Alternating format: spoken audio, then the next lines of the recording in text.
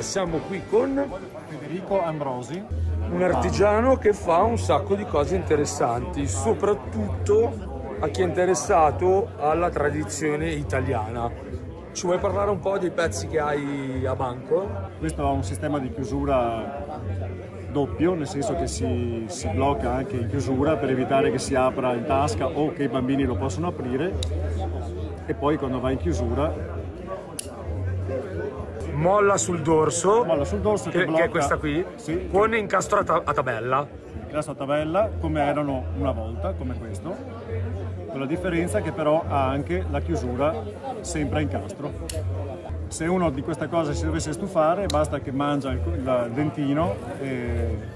E torna a essere, torna ad essere normale. Esatto. Questa l'ho presa, trovata a un mercatino qui a Vittorio Veneto, una bellissima eh, britola artigianale forgiata, credo dei Ma ha dei finimenti in filo di rame, ottone? Che cosa no, no? No, questa qui è soltanto una... l'ho trovata già così perché era è mezza distrutta, però l'hanno tenuta assieme con questo filetto. E questa invece è più, diciamo così, povera ed è tipicamente dell'area, credo Treviso anche questa, come ah, area trevigiana. Credo di sì, a naso. Questa invece viene dalle Coltellerie Riunite di Vicenza, zona vicentina. Schio? Esatto, è una, una produzione che si, si, faceva appunto nel dopoguerra, eh, già diciamo industriale, però con il sapore di una volta insomma. Mentre invece qui abbiamo il pezzo più grosso di tutti che rappresenta un coltello che è quasi introvabile. Sì, originale sì. Sì, l'originale è praticamente introvabile. Perché era introvabile? Ma perché veniva buttato nei tombini di solito quando veniva utilizzato, dopo l'utilizzo. Ecco, dopo l'utilizzo c'è da specificare il perché. Questa qui è chiamata sfarziglia, esatto. detto anche coltello del camorrista. Praticamente da chiuso è molto lungo ma molto è piatto, sottile, molto, molto sottile. sottile. E si può appunto occultare facilmente in una Beh, tasca. Si occultava in una tasca interna alla giacca. Interna alla giacca, beh questa non è adatta, ma insomma in questo modo o anche lungo la coscia diventava esatto. molto sottile e molto difficile da, da, vedere diciamo. E veniva tenuta dopo l'utilizzo genericamente sotto le mattonelle di casa o sotto i pavimenti, ma essendo in ferro dolce arrugginiva e esatto. a noi ne sono arrivate poche molto in buonissime poco. condizioni. Molto. Questo è un San Potito, un coltello del comune di Lugo di Romagna, una frazione del comune di Lugo di Romagna e una riproduzione abbastanza fedele diciamo e ha la caratteristica di essere molto robusto. Anche questo aveva un utilizzo offesa lo si capisce subito del fatto che è uno strumento che è nato per l'offesa per diversi motivi. Il primo è la lama quindi una punta acuminata con una lama falso filo con un falso filo, un falso esatto. filo e ha una capacità di penetrazione estremamente Molto. accentuata con un blocco lama decisamente rigido proprio lama per... che lo rende, lo rende, sostanzialmente un pezzo, cioè un pezzo per evitare unico. che si richiuda sulle dita Esatto. dell'utilizzatore essendo ferrato, cioè avendo una carcassa in acciaio sostanzialmente una volta ferrato in fondo diventa uno spadino cosa vietata all'epoca, ma un coltello molto lungo non è uno spadino e quindi era legato. Da Venante stesso utilizzo, una foggia diversa, a pochi chilometri di distanza la differenza è incredibile, e, eppure questa è una delle tante ricchezze del nostro paese. E abbiamo un coltello simile, eh, a parer mio più elegante e però molto più, eh, secondo me, efficace perché ha un controfilo sostanzialmente a tutta lama questa parte è affilata, questa parte no, ed è di fatto una ricorda, daga. ricorda molto la punta delle daghe, una comunque delle, delle Sì, daghette. Sì, a tutti gli effetti è una daga. È un quattro piane, un, due pianelle, questo è un la riproduzione di un piemontese. In questo caso è un molla semplice, nel senso che non ha il blocco lama. Vedete subito la differenza, questo non ha un blocco, mentre questo ha un perno che si va a bisogna- inserire. Bisogna tirare su, invece qua basta spingere. Questo lo rende un pochino più pericoloso per l'utilizzatore. Però, Perché c'è il rischio che gli si richiuda forbice sulle però dita. non a caso ha la punta molto attuata in alto, in modo che anche in affondo, come dire, la, la lama tende un po' a restare aperta. Certo. E naturalmente le molle degli originali erano estremamente dure, questo è volutamente morbido per non farsi male, anche Certo. perché l'utilizzo moderno è il collezionismo. Assolutamente, da, da vetrinetta. esatto, però gli originali avevano delle molle estremamente robuste e diventava quasi un lama fissa. Ma questo è ispirato ad una, una saracca romagnola, ma è un po' più di fantasia, ricavata da un corno di bue e coltello più da lavoro, anche se la dimensione è generosa, anche questo con il blocco lama. E... Veniva, io sarò, non siate impietosi con me, veniva spesso definito coltello Kuluriz in, eh, in dialetto. Kulurez, perché aveva esatto. il riccio. Esatto, io avevo detto che non avrei mai saputo pronunciare. esatto, perché praticamente facendo così, a volte si metteva anche un anellino di ritenzione per poterlo attaccare. Esatto. Okay. Comunque questo è molto comodo perché si fa questa operazione salvando le vite. Certo lo metti in comune con alcuni altri coltelli del Centro Italia. Questo è un coltellino da lavoro di ispirazione italiana. Questo, ecco, questa non è una riproduzione da tutti gli effetti perché riprende alcuni stilemi vari, potrebbe assomigliare a un, boh, saprei neanche io, a un mimolese, ma in miniatura. Bosso. Ecco, una cosa che tengo a dire, che tengo a precisare è semplicemente questa, l'uso di materiali nazionali. Ecco, bosso italiano, questo è leccio, mi sono concesso il lusso dell'alce. Che non è tipicamente non italiano. È, non è italiano, tutto il resto è cervo, però non è protetto, ecco, questo ci tengo a, a precisarlo. Mentre un corno bovino raramente viene da un corno, da un animale vivo, questi... Che comunque sono recuperi da macello. Sono quindi... recuperi da macello, sì. Voglio dire. Cosa abbiamo qui? Abbiamo le balestre di Avigliano. Un coltello storico, no? Molto, molto storico, anche molto vecchio Diceva prima che la prima data in cui se ne sente parlare risale al 1600? 1674, diciamo, a metà, tre quarti di secolo del 600. Che particolarità ha questo tipo di coltello, maestro Aquila? Questa è la particolarità che è un pugnale chiudibile. Un tre scrocchi, giusto? Tre scrocchi, sì. Che sono eh, questo sistema, questo meccanismo di chiusura che si vede qui praticamente, sì. i dentini che vedete qui sopra poi ha una lama a foglia d'olivo che è un pugnale praticamente, è un pugnale chiudibile, non è un coltello comune. Certo, ed è tipico della città di Avigliano. Tipico della città di Avigliano, lì, lì è nata la, la, balestra, perché pare che un fabbro a quei tempi non era, molto, non era visto bene dalla, dalla, chiesa, quindi non si sposavano, non, non li sposavano. E ha avuto la fortuna di avere una ragazza che lo voleva sposare, però c'era lo ius prima noctis e quindi doveva passare per il castello. E il, il fabbro pare che in una notte gli ha, gli ha forgiato una balestra da cui prende il nome la balestra e, e, e, quindi praticamente gliel'ha data alla moglie e dice se si avvicina dai una coltellata e, la moglie gliel'ha data veramente una coltellata.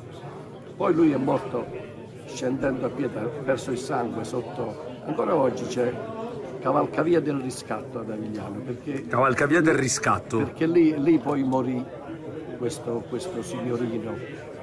E da allora quasi, quasi tutti i giovani che, che si fidanzavano regalavano questo, questo coltello balestra alla ragazza che doveva difendersi, però serviva anche perché lui quando, allora da noi, quando si regalava il coltello alla ragazza, era un pegno d'amore serio, lo doveva sposare, perché se no lei la poteva anche usare contro di lui. Certo.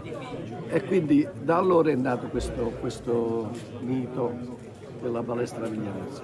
Quanti, in quanti siete rimasti a fare la balestra tipica di Avigliano? Ah, po pochissimi, perché non, non, è che, non, è che, questo si fa in, in un giorno, fa, ci vogliono 15-20 giorni per farlo. 15-20 giorni per un esemplare di queste dimensioni? Sì, sì, ma non è molto la dimensione, perché il lavoro è quasi sempre lo stesso. L'indarsi è lo stesso, la forgiatura è lo stesso, i disegni sono gli stessi. Cambia un po' la lunghezza, ma cambia poco. Il tempo è quasi sempre lo stesso.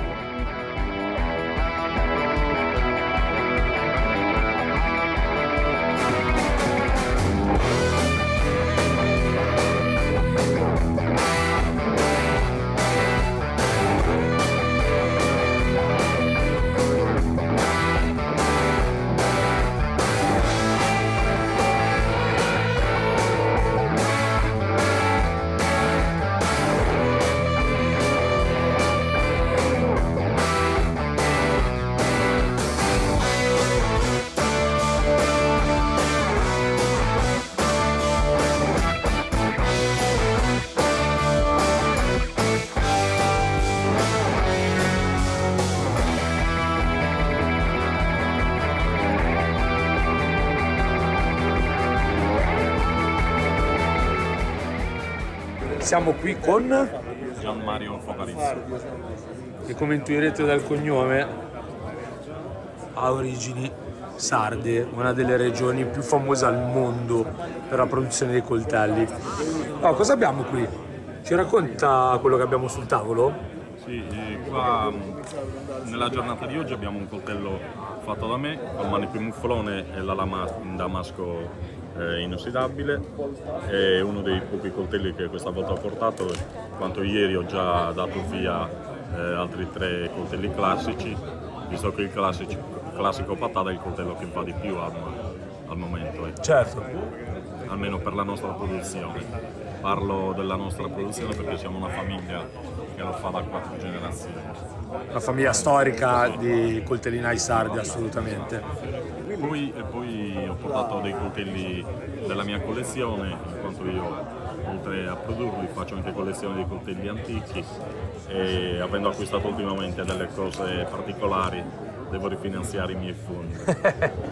Che cos'è questo? Questi questo- sono, questi sono dei coltelli eh, tradizionali di tipo pattara, totalmente usati, perché in Sardegna è difficile trovare un coltello conservato. Un tonso, certo. tonso.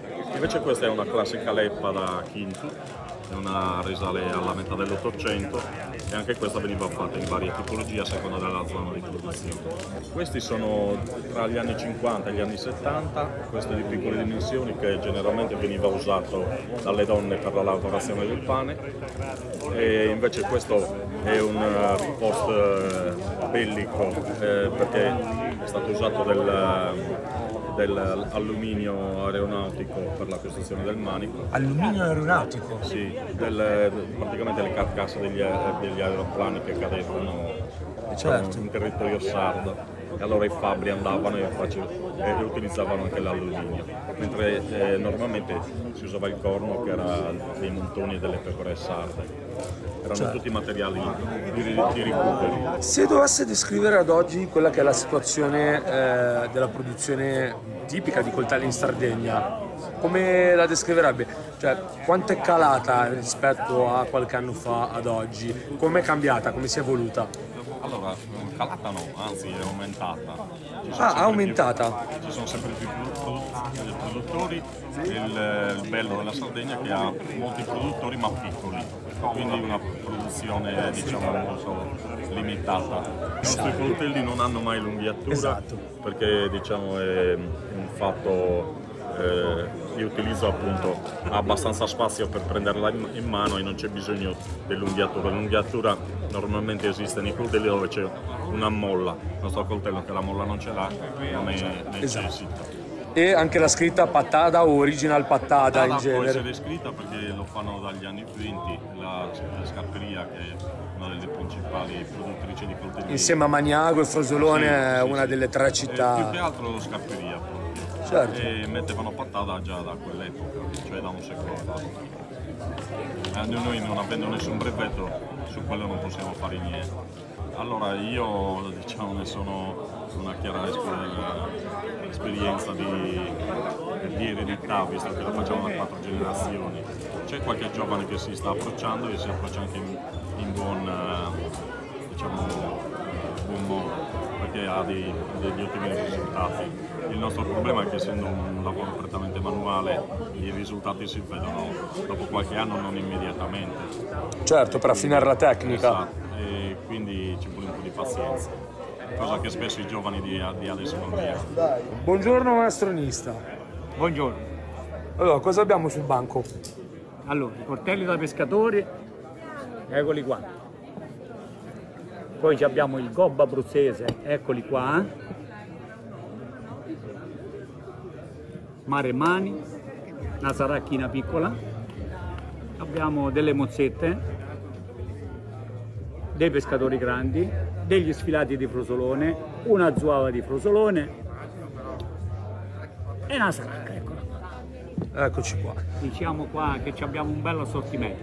E Allora, anche un coltello di, di sparanese, allora, partiamo da quella che è un po' la sua firma, che sono i pescatori. i pescatori, eccoli qua. Allora, da- di che zona sono originari i pescatori? Allora, i pescatori sono nati a controguerra, A controguerra, Però li facevano pure a San Benedetto del Trono. anche a San Benedetto del Trono. Sì, c'era un artigiano. Eppure a Nereto. Nereto. Nereto. Ok. Un'altra località, ma sempre nel- in Abruzzo. Tra l'Abruzzo e Marche, diciamo. Abruzzo e Marche, certo. Eh. E Allora. vengono chiamati de- del pescatore Del perché pescatore. sono più che altro di riva adriatica, utilizzata dalle... Dai pescatori, questi li usano proprio i pescatori, li usano ancora oggi per fare la rete, per pulire il pesce. Ok. Poi girano perché oggi c'è il collezionismo dei coltelli regionali. Allora, e questo è il mio forte. E questo è un po' la firma, anche firma. perché è l'ultimo rimasto a farli, no? Eh, C'è mio figlio, c'è. Ok, sì, sono è, io, rimasto però- tutto, è rimasto tutto in famiglia, Sì, diciamo. sì, è rimasto in famiglia. Ok. Il Luca Antoni me l'ha ceduto a me. Luca Antonio ricordiamo è una delle famiglie storiche di Guardiagrele Sì. e No, guarda quello, di controguerra. di controguerra, errore mio, ed è una famiglia storica di produzione di coltelli. Sì, i Luca Antoni erano 3, 4, 5 generazioni che facevano Cinque sto- generazioni. che facevano questo tipo di coltelli. Ok. Mentre E- questi altri modelli io li ho presi, pure questo qua facevano, il gobbo abruzzese. Certo. Però non lo chiamavano gobbo, lo chiamavano abruzzese e basta. Abruzzese, certo. Eh, È stato poi chiamato Gobbo perché aveva Perché- quella lieve incurvatura. Perché li facevano a Loreto, li stondavano più il manico e li chiamavano gobbo. Li facevano più con una forma gobba. Gobba, esatto. Più Invece, stondata. invece il Luca Antonio aveva una, una- una linea più dritta come questo. Quindi Luca Antonio aveva una linea più dritta, Più dritta. lineare. Ok, come questo qui. Mentre i, i cortelli di Loreto Abrutina erano tutti. Ci sono degli artigiani, ci sono, no, c'erano degli artigiani che li facevano scobbati Ok, quindi più curvi. a manico d'ombrello, Ok. per dirti un gergo. Mentre invece eh, sulle mozzette cosa possiamo dire? La mozzetta di guardiagrele. Queste le, le facevano a guardiagrele. Ma le faceva pure Luca Antonio, ma non con questo sistema qua di punta, ma con una punta arrotondata. Oppure tagliata, ma non così. Ok. Era un po' diverso. Poi abbiamo detto che abbiamo sul tavolo anche dei maremmani. Sì, il mare Manol È un tributo. è un tributo, li ho fatti io per di più. Certo. Ma non è della nostra regione. No, so, assolutamente, il maremmano per l'appunto arriva dalla zona Maremma in Toscana. No, no, ma è come la Saracca. La Saracca è, è lo stesso, non è, è romagnola, ma io la rifaccio perché pure Luca Antoni faceva un tipo di Saracca, la faceva pure Luca Antoni. Si somigliava, però la faceva con un'apertura diversa. Io facevo la routine ambulante, facevo la routine in giro, affilavo Ok. i coltelli. Mi trovo ad andare da Luca Antoni che tutti me ne parlavano. E Luca Antoni ebbe un po' de- che ti posso dire, come mi ha visto, ma, ma che devi fare? Ma- però dopo mi ha cominciato a fare, ma tu di dove sei? E io gli dico, guarda che sono di Frosoloni. Ah, di Frosoloni, allora mi comincia a fare, ma mi serve un po' di acciaio, ma mi serve un po' di corno, di altro lo procuro io, non ti preoccupare. Allora mi fa vicino a me. E le mole, c'aveva una mola che ballava tutto, no? Dico aspetta che poi te la metto a posto io. Certo, al rotino. Ho preso il diamante, gliel'ho centrata, perfetto. Eh, ma allora tu sai il mestiere. Ah, eh, va bene. Poi dice, ma vuoi venire a darmi una mano a me? Ma lui già aveva 90 anni, eh. Fine 89, 90. Ok, sì. Poi andai da lui, gli portai l'acciaio, poi mi cominciò a fare, oh, facciamo i cortelli, dai, che lui non ci vedeva. E cominciamo a fare i primi cortelli, io li bucavo i manici perché faceva questo tipo di cortello col corno addoppiato, vedi? Certo. Non questo. Questo è l'originale. Eh, la, la differenza è anche... Allora, Questo, guarda, facciamolo vedere mo ti che... faccio della differenza del... Allora, questo erano i coltelli originali, perché li ho fatti io col corno addoppiato di vacca, mentre questi sono tutti di punta. Sono fatti con la punta, de- con un altro sistema. infatti. Certo, Però qualche collezionista me li chiede così. eh.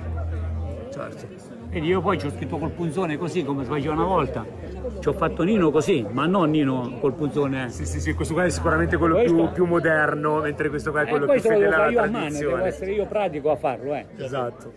Mentre questa è, è un Eh, elettro- questo è niente, questo Cos'è, è- incisione? Stampinato? No, no, è uno stampo proprio, uno stampino che ho io. Che prima mettevo con un altro nino, fatto in un altro modo. Eh. E questa è la storia mia. Poi siamo messi a fare i coltelli, è rientrato mio figlio e noi facciamo insieme. Secondo lei come è cambiato negli ultimi anni il mondo della coltelleria in Italia? Cioè del nostro coltello, quello italiano? Gli artigiani, Non ce ne sono più. oh, e questo tipo di coltello ne fanno in pochi, pochissimi. Certo. Poi c'è anche da dire che magari le nuove generazioni non sono più tanto avvezze ad andare in Eh, qua, ci vuole, bottega. qua ci vuole la, la manualità, devi tenere, devi sapere come farli, ne- ne. Beh certo, è un'arte. la forma. Certo, Cioè se io mi metto a fare un coltello, prendo un pezzo di punta, un pezzo di corno, faccio un coltello, un Certo. I giovani di oggi, per capire tutto il meccanismo, im- impegni un sacco di tempo, ci impegni. certo. Non è semplice.